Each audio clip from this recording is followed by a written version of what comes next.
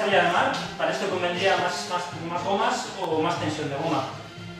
Más tensión que se consigue con, con menos recorrido de gomas, o gomas más cortas o con más cantidad de gomas. Pero bueno, puedes, puedes jugar un poquillo con ello. Y recuerda que también tenemos, Sí, con este tipo de armas tenemos esta, este juego también, fíjate. Puedo hacer flexiones con una sola mano. Ya me veo yo las mías partidas.